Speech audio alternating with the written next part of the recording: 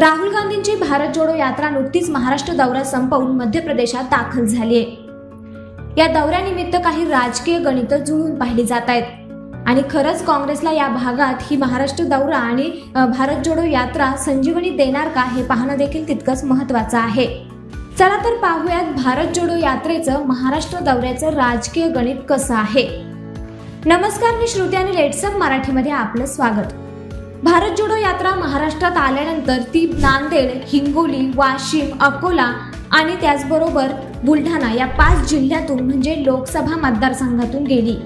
तर ही यात्रा जरी या पाच जिल्ह्यांमधून गेली असली तरी जालना बीड लातूर अमरावती परभणी आणि जळगाव या जिल्ह्यांमध्ये देखील मतदार आणि काँग्रेस कार्यकर्त्यांमध्ये भारत जोडो यात्रेचा प्रभाव दिसून आला.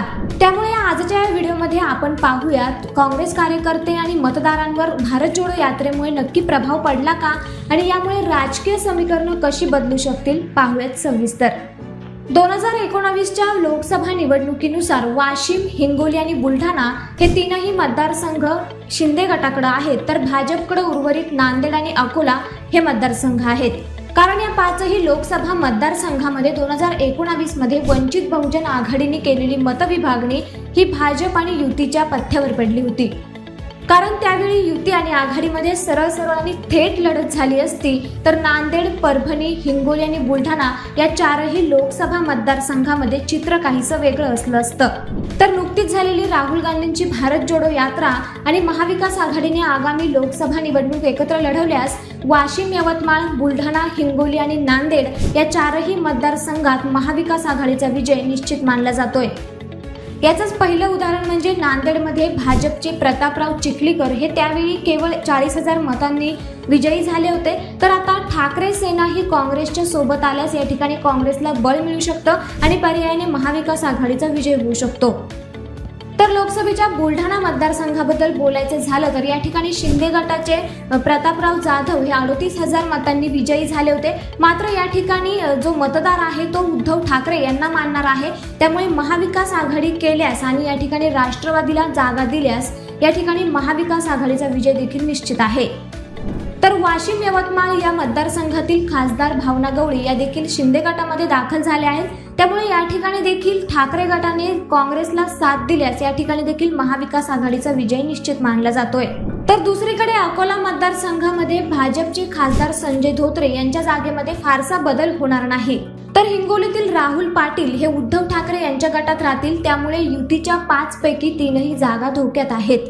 त्याचबरोबर जर भविष्यात शिंदे गट आणि वंचित बहुजन आघाडी एकत्र आल्यास वाशिम यवतमाळ या मतदारसंघामध्ये शिंदे गटाच्या भावना गवळी यांना वंचितच्या मतांचा पाठिंबा मिळेल.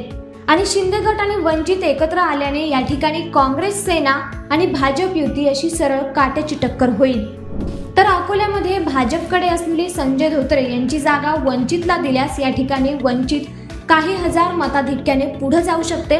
मात्र या ठिकाणी काँग्रेस अधिक तुल्यबळ असल्याने या ठिकाणी देखील भाजपला तारलं जाऊ शकतं असंही वाटत नाही. तर तिकडे बुलढाण्यामध्ये देखील तशीच परिस्थिती आहे कारण युती आणि आघाडी यांचा मेळ जमून आल्यास यामध्ये थेट काट्याची टक्कर होणार आहे. त्याचवेळी हिंगोली मतदारसंघामध्ये मात्र फारसा फरक पडणार नसल्याचे देखील राजकीय गणितामध्ये वर्तवलं जातंय. तर लातूर आणि जालना या ठिकाणी देखील भाजपला काही फरक पडेल असं देखील वाटत नाही. तर तिकडे अमरावतीमध्ये राणा यांच्यासोबत वंचित बहुजन आघाडीचे त्यांना बळ मिळाल्यास काँग्रेस आणि भाजप यांच्यामध्ये जोरदार लढत बघायला मिळेल. त्यामुळे राहुल गांधी यांची भारत जोडो यात्रा जरी महाराष्ट्र दौरा करून गेली असली तरी आगामी लोकसभा निवडणुकीमध्ये मात्र ज्यावेळी महाविकास आघाडी एकत्र येईल त्याचवेळी काँग्रेसला या यात्रेचा फायदा होऊ शकतो असं देखील बोललं जात आहे तर तुमचं राजकीय गणित काय सांगतं? आगामी लोकसभा निवडणुकीमध्ये भारत जोडो यात्रेचा काँग्रेसला आणि पर्यायाने महाविकास आघाडीला फायदा होणार का? कमेंट करून नक्की कळवा आणि असेच नवनवीन माहितीपूर्ण व्हिडिओ पाहण्यासाठी फॉलो करा लेट्सअप मराठीला. त्याचबरोबर लेट्सअप मराठीच्या यूट्यूब चॅनलला सबस्क्राईब करायला विसरू नका. धन्यवाद.